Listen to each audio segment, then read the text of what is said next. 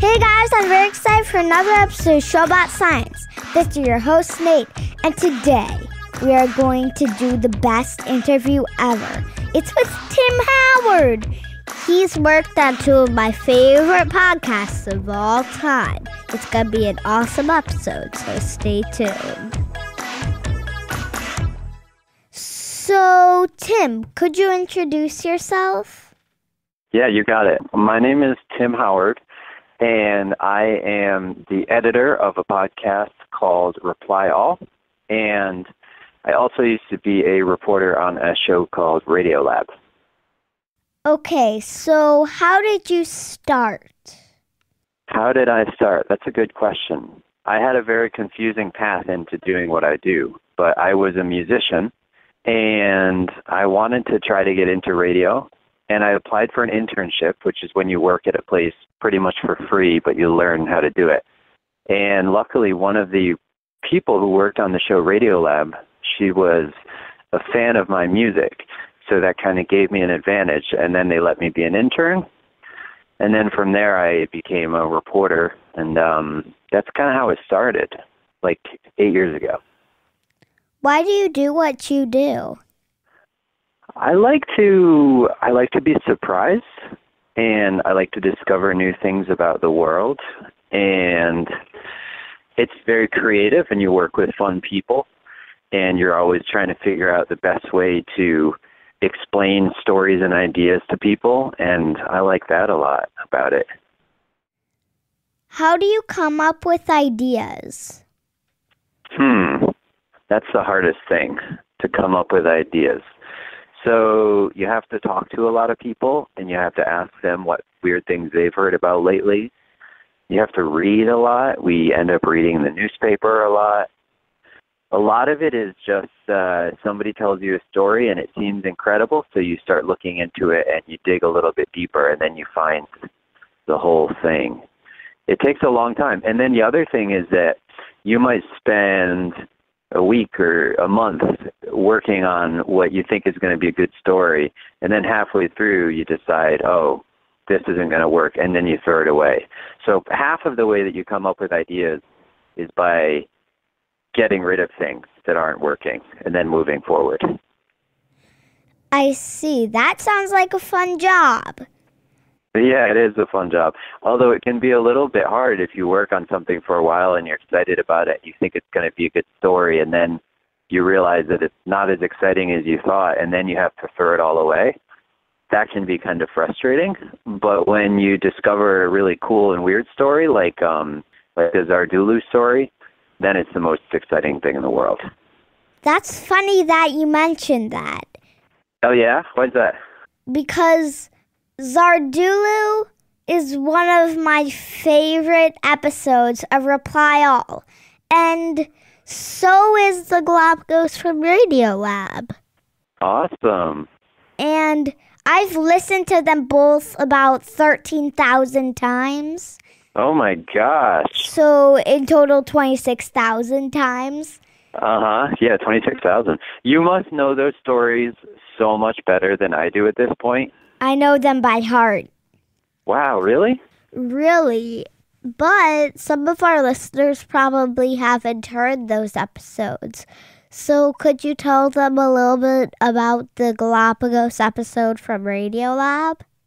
Yeah, you got it. So the Galapagos, it's an hour long episode that I did for Radiolab and it's about it's about a bunch of different stories that are all happening in the Galapagos Islands and the Galapagos Islands are really famous in the history of science because that's where Charles Darwin went and where he started to develop his ideas um, basically about how animals evolve.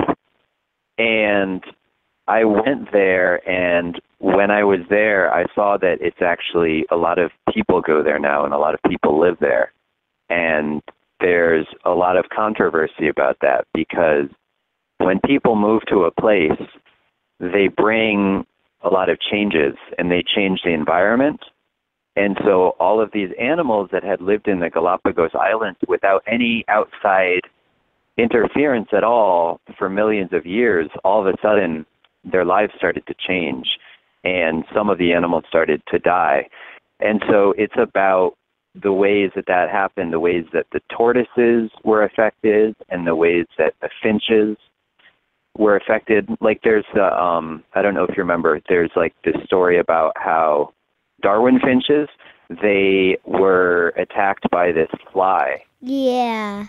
Is it yeah, it, it snuck in somehow. Yeah, I think it's called like Philornis Downsi. Do you just spell Philornis Downsi? That's Robert Krulwich, one of the hosts of Radiolab. Yeah, it's P H I L. I can't spell out loud. Philor. L O R N I S D O W N S I. Okay. Philornis actually means bird loving That's uh, Charlotte Causton. She's a researcher. at the Charles Darwin Foundation. She says there's actually very little known about the fly. They're not sure where it came from or quite how it got here, but here's what they do know. What it does is it it crawls into the nest of the finches and when the finches are tiny little babies, it like crawls up into their beaks, like their noses, and it eats them. And so it's really dangerous. It's a zombie fly. Yeah, exactly. Exactly. Yeah, and then the other story was about Lonesome George, who was the last of his kind, who was living on this island called Pinta. Yep, Pinta Island tortoise. Yeah. And I got a chance to see Lonesome George. I don't think it's in the episode, but It's not in the episode. yeah, it's not in the episode. We tried to fit it in the episode, but there's too much. But he went to a museum here in New York after he died, and they stuffed him to preserve him. And so I got a chance to go see him, and that was really kind of cool and kind of sad. So, could you tell me about Zardulu and what it is? Zardulu is an episode from the show that I work on now, Reply All. And basically, some weird things had happened in New York that got a lot of attention. And one of them was that a rat was seen on video dragging a slice of pizza down the stairs in the New York subway. And it got really famous. And after Pizza Rat came Selfie Rat. Let's hear a clip. Zardulu took the video and sent it to a Connecticut TV station posing as someone called Don Richards. And that's how Selfie Rat was born. And it was everywhere. For a couple days, it became the weird news story on the 11 o'clock news all over the country. It was blurry, and you couldn't tell that it was Eric, but the video was seen millions of times. In the process, he dropped his cell phone, which somehow snapped a photo of the imposing critter. Richards caught the whole thing on video, and now the sleeping man has a forever memento of Selfie Rat.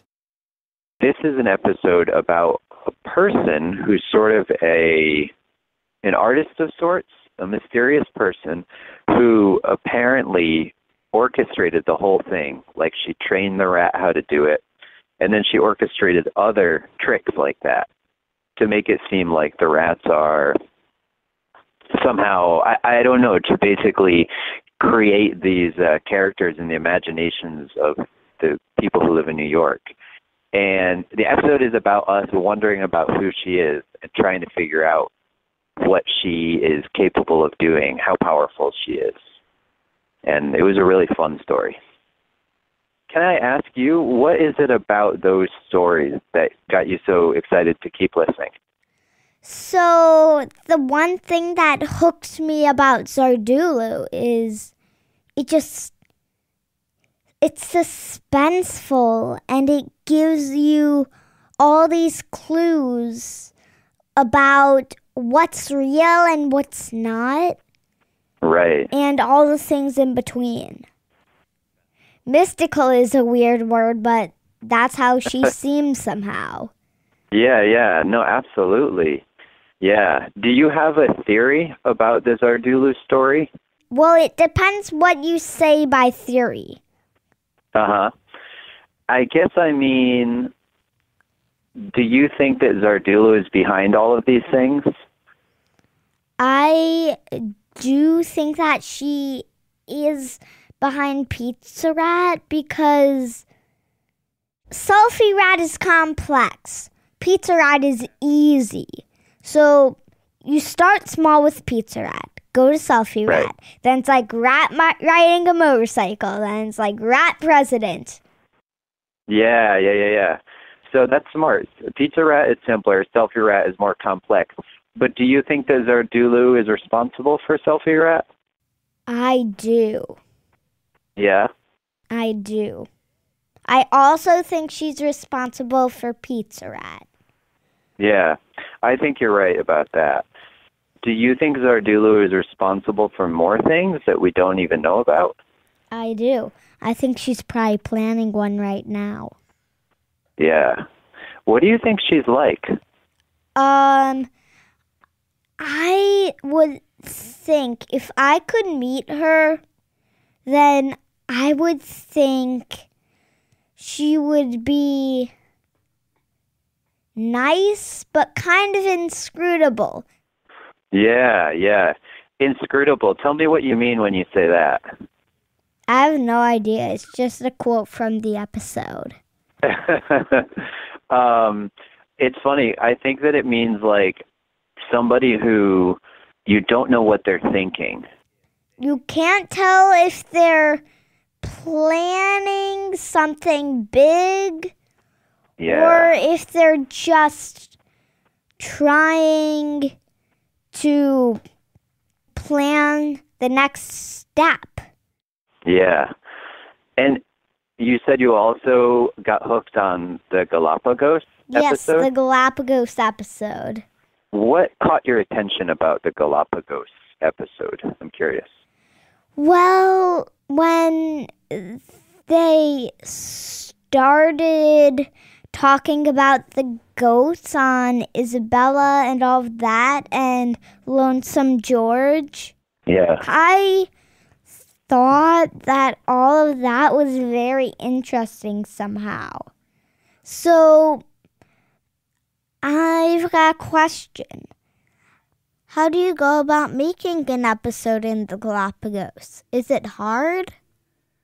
Yeah, that's a good question. Okay, so I wanted to do this story that took place in the Galapagos. And the Galapagos is really far away. I live in New York and it's really hard to get there. And I didn't think that I would necessarily be able to convince my bosses to let me go there because it would cost a lot of money and I would be out of the office for a lot of time. But the fortunate thing was that I got married in 2013 and me and my wife we wanted to take our honeymoon which is like the vacation that you take when you get married. We wanted to take our honeymoon in Ecuador. And the Galapagos isn't they're part of Ecuador. And so because I was already going to Ecuador and we were going on vacation there I was able to convince my boss to let me fly to Galapagos. And um so they let me go there and I spent 5 days and I interviewed as many people as I could. And actually the weird thing about the Galapagos is that it's so many different islands and they're really far away from each other so it takes a long time to get from one to the other. So I wasn't able to go to all of these islands but I was able to talk to scientists who know all these islands. And I talked to them. I spent five days there in Galapagos. I went to two different islands, and then I came back to New York, and then I did a lot more interviews. And then we took three more months or so to edit them down and figure out how to tell the stories in that episode. Thanks, Tim. It's been so much fun talking to a fellow science podcaster. It's really interesting hearing how you put your stories together, and I really loved getting to share my favorite episodes of Radiolab and Reply All with my listeners. How can people find out more about the shows that you work on? Let's see. I think the best way. So now I work on Reply All, and you can go to what is the easiest way? ReplyAll dot limo L I M O. That's our website, and then you can you can hear all our shows there. Or if you listen to podcasts on your phone, like on iTunes, you can just look up Reply All, and then maybe we maybe tell people just to start with Zardulu that's your favorite episode.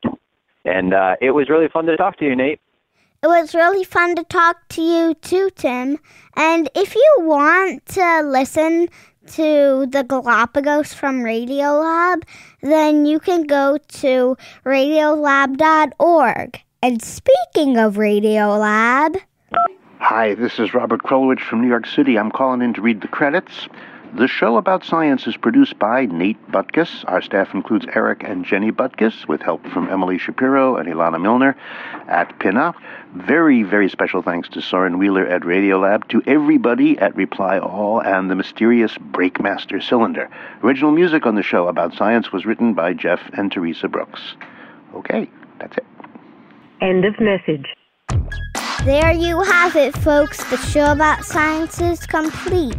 But just so you know, Radiolab and Reply All are podcasts for adults, but some episodes are cool for kids too. So make sure your parents listen first.